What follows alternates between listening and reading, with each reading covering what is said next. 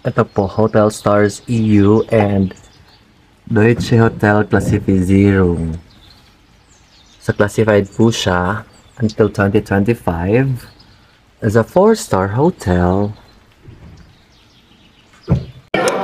Ayan, ayan, after 9 million years, plato na po kami. May next na po yung plato. Oh, oh my God! Award winning na po kami.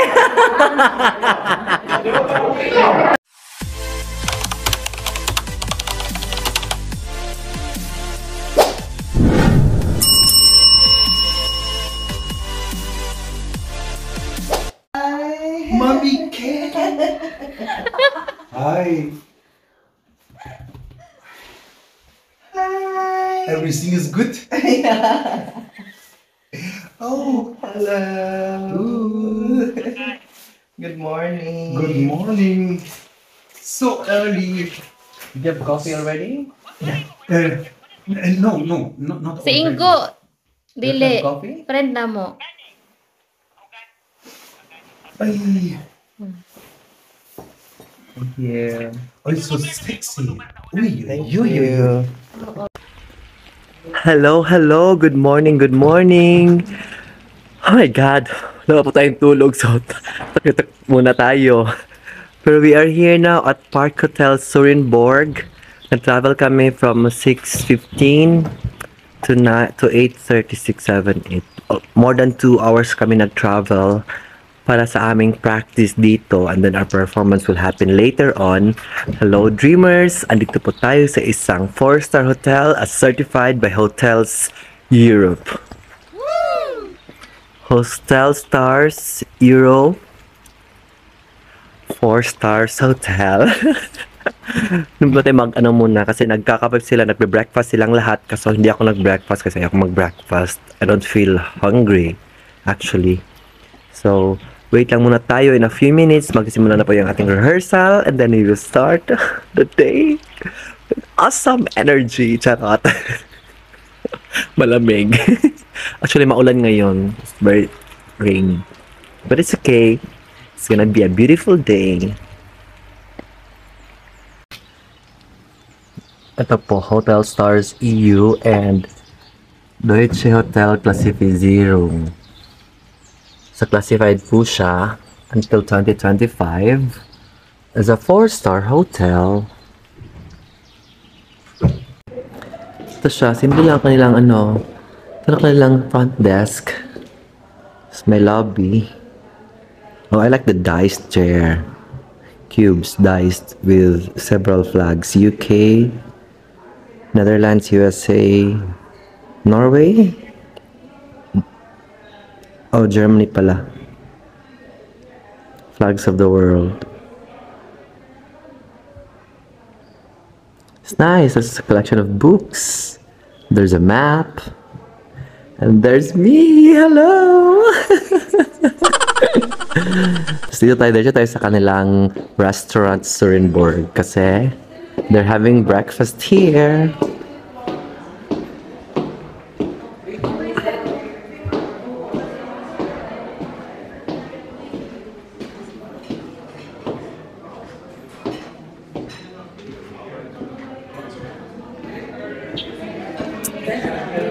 Ito yung breakfast area.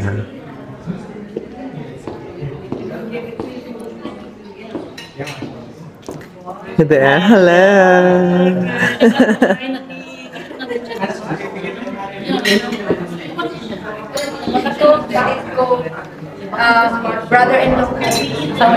Sila. Hala, hala, sh- hala shots.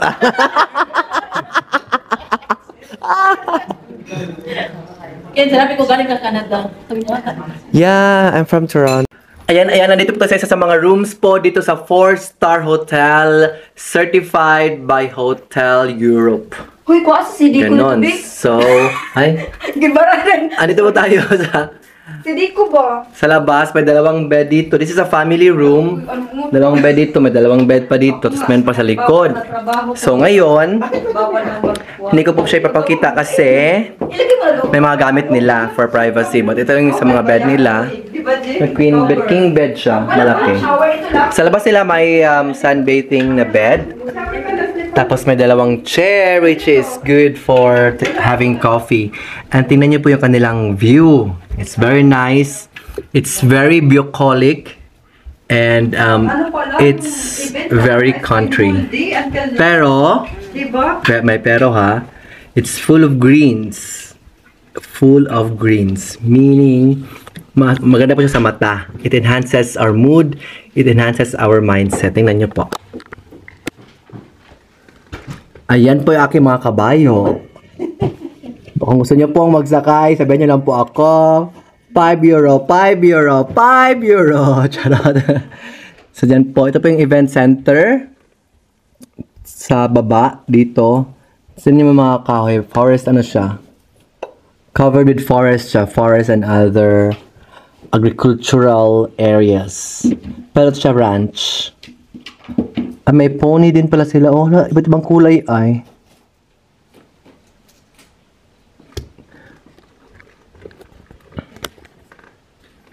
Ayun, so, um, sa hindi po nakakaalam, um, ang pagre-race po ng kabayo and doing racing or other um, leisure activities involving horses, it's a luxury sport po. I remember one time, nasa Toronto kami, may event kami sa sa isang ano sa isang ah, event um, exhibition area malawak na malawak talaga siya masyado and grabe talaga grabe the, this this sport the game the leisure the hobby of racing horses and uh, arranging them?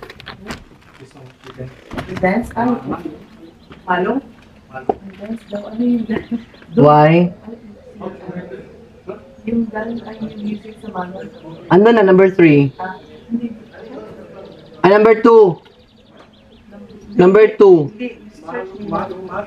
malong I I I I, Music daw. I change I sent to you puppy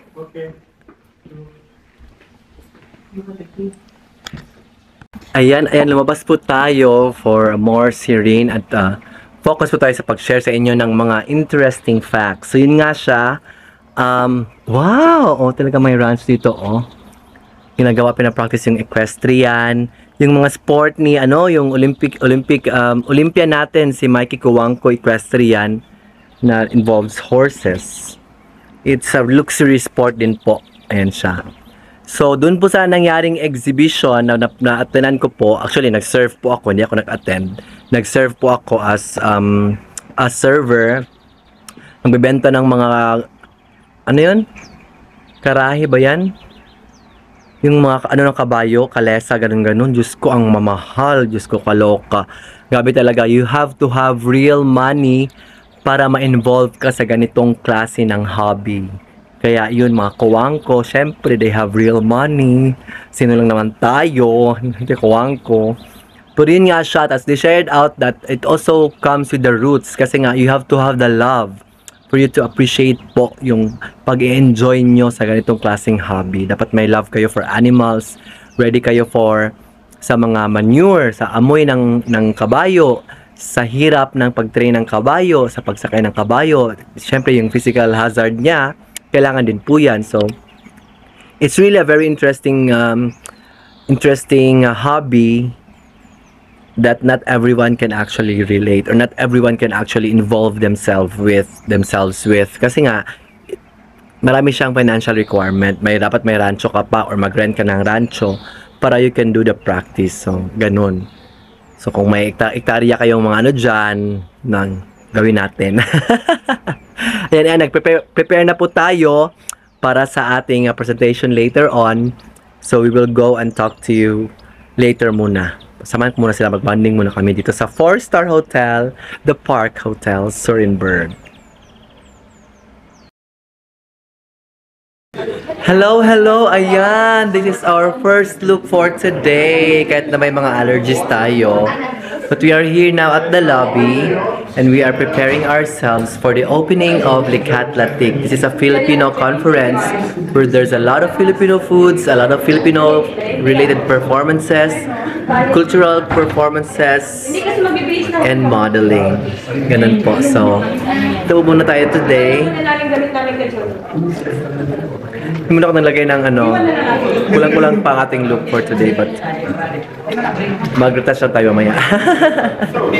Na check out na po sila. We're all here. We're all gonna be set very soon.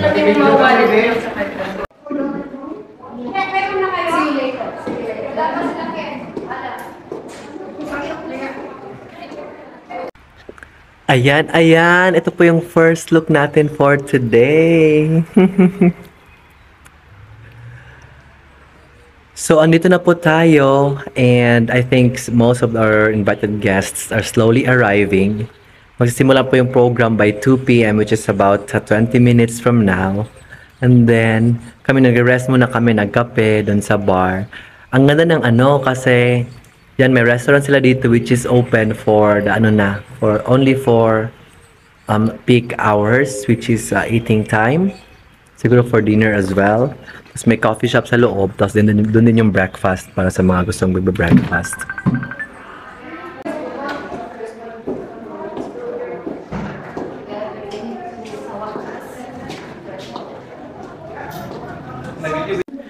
Dito po yung ating ah, ano dressing room. Ah, sorry po. Go, ma'am. Sorry, ma'am. Isipin niyo from the conference room, harap po nito yung training area for the horses. So I think it's a very important um, amenity that this uh, hotel can offer. Kaya po may extra star sila. Kasi 'di ba? Tingnan niyo muna ha. Yan oh, nagte-training siya. Ayan. Ayan, 'di ba? So,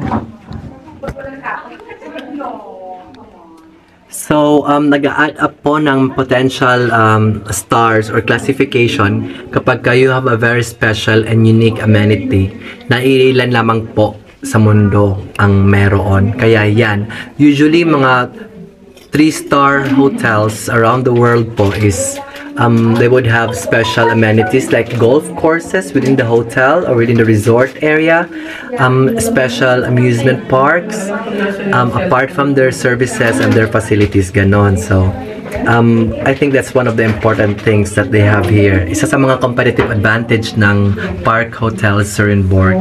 So, time na po natin para magbihis at ipakita ang ating galing. Samahan niyo po kami. Para sa ating unang performance, ang Igorot Dance. Ito po yung ating forma.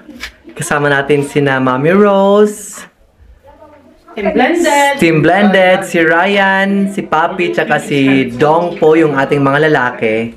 Kasi di ba um, um, courtship dance po yung gagawin natin sa Igorot. So may partner-partner. So it's a very short dance lang po. Just to showcase po of, uh, just to showcase uh, what we have uh, in terms of um, cultural identities kasi very important na ma-expose din natin po sa buong mundo, especially here sa Germany kasi marami ng mga Pilipino na dito na lumaki and they were not exposed to the kind of cultures that we have in the Philippines. So this is a very good opportunity for us to showcase this particular culture.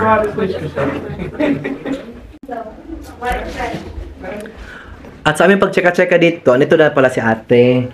Hello, hello! Kani kain pa, mag-picture na tayo. Let's go. Siya siya mag... ah, ah, paano nga ng name mo? Girl? Mary, Mary Mary. Seaver. Fra, of, anong ano mo? Anong creations mo? Yung anong, may ano ka? Um, trade name ng ano mo? May store ka or just you? As a Ano person? lang, sa bahay. Sa bahay? As design. Uh, nasa, ang atelier ko nasa bahay. Oh, okay. Yeah.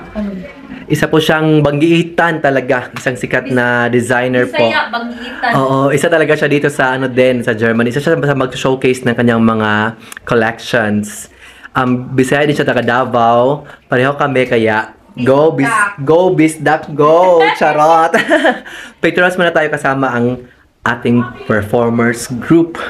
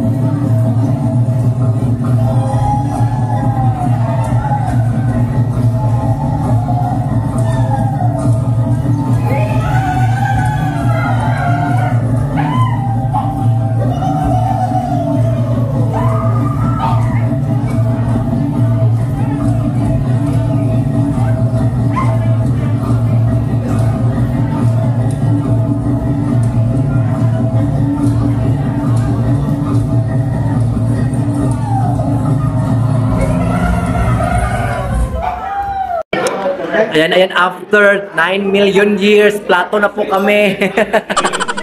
May next na po yung plato. Oh my God! Award winning na po kami. oh my God! Grabe kaloka, pero ang saya. Hindi naman ako sa, Pilip sa Pilipinas. Si Mami Gracie. Oh my God. Hi. Greetings from Germany to Canada. Hi! Thank you. Canada, Toronto, right? Yeah. Toronto. Hello, Toronto. It's not really Toronto, it's Toronto.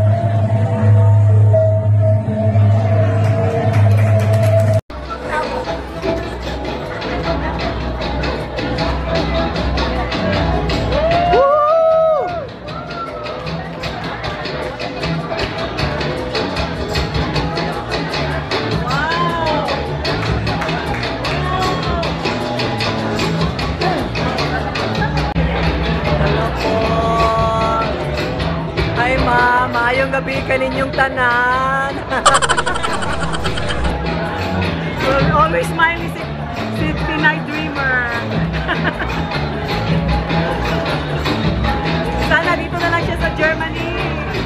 Walang asawa. Hanapan kita. Hi guys! Hello man! Ayan, pinsan ko. Hello po. Salamat po. Ah, sa Venice na Jesus siya.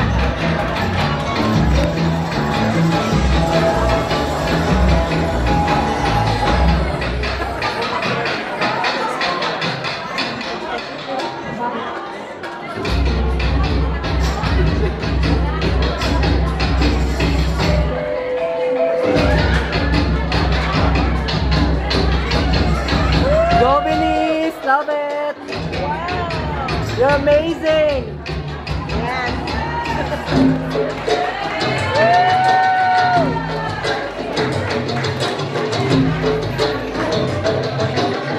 Ano mga Pilipino na tula sa atin ko eh.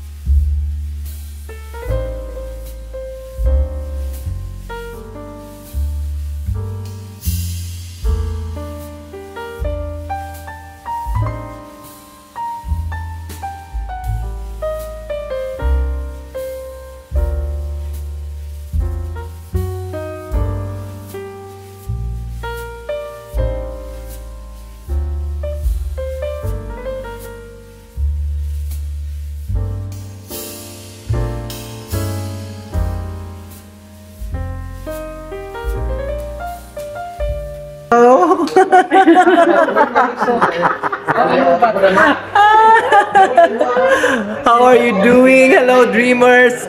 At long last, tapos na po tayo sa ating performances. Oh my God, pagpasensyahan nyo na. At konti lang natin nakuha ang mga copies ng videos ng ating performances and preparation. I-check nyo po sa lahat ng members ng Team Belmani. Kasi I'm sure you would see a lot uh, from different perspectives, from different views and opinions, and violent reactions. Charot! I'm with my friend, Ingo! Amazing. so right now, oh my God, grabe talaga. It's it's a very very nice ano. Akala ko sila. It's a very very nice um, experience po that we are able to showcase Filipino dance, um, cultural dances. We are not uh, professional performers po ng Filipino cultural dances. But then we're able to at least provide to them the, the entertainment and educate them and show to them through our costume how important culture is in the Philippines and how vast the culture is in the Philippines, di ba? I'm sure that um, for those who are here for the first time and to witness our dances and our, our, our outfits, na-enjoy nila ng masyado ang aming ano, may mga prinsesa pa kami, meron, di ba? Hindi, hindi naman lahat nakakapanood niyan, and hindi lahat alam yan. So, at least, through our own small way, kahit three times na kami na-practice, three times pa, two times. Two times lang. One, Legisel, sa, sa, sa amin. Two times lang pala, imagine. But we were able to make it. May mga may mga minor ano mistakes pero it happens. It can it can't be perfect. We're not perfect performers. Yeah. we're not professional performers after all. But at least we were able to showcase na nakapagbigay kami ng saya kahit papano. And with that we are very happy and grateful already. So we would like sa ako na lang, sa akin lang pala. sa, para sa akin lang, I would like to thank the um, organizers of the of Likhat Latik, uh, the Dalglam Productions, for inviting us and for letting us uh, showcase in our own small little way the talents that we have and the happiness that we can share to others. Ayan, ayan. So for the meantime, ito pa mga live audience ko. Pa! Live audience pala. check ka na, check kasi ba din po? Ayan. Ito pa yung third look natin for tonight with all with with allergies inside and outside. May pa-feathers pa si Mayor. Thank you sa aking ah, um, outfit sponsors. Of course, my dear sisterettes. Where is, where is she? Yung sisterakas ko po and oh my God. It's time to enjoy. It's time to Wala. indulge ourselves with some libations. Drink. Maglalasing lang pala. Maglalasing na kami. Tapos na po. Cheers! Time na pag-enjoy kasi um, yung pinaghirapan po namin for a few weeks, we're, we're already done with it. So, time to enjoy the moment with Team Balmony, enjoy the camaraderie, enjoy the harmony, enjoy the family, enjoy the love, enjoy the enthusiasm, and most of all, enjoy our Filipino culture. Maraming salamat po. Charot! At dyan po nagtatapos ang Likhat Latik 2023. Thank you so much, Team Belmani!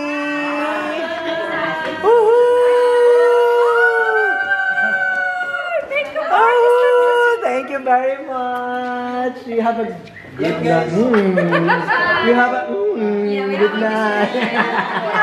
ayan, ayan. So, grabe. Sobra-sobra. Action-packed, jam-packed event po siya. Oh my God. May kanya-kanya po kaming perspective sa aming mga videos. So, huwag niyo pong kalimutan panoorin lahat ng videos ng Team Belmani. At makikita niyo po ang ganda ng Likhat Latik 2023. Maraming salamat po!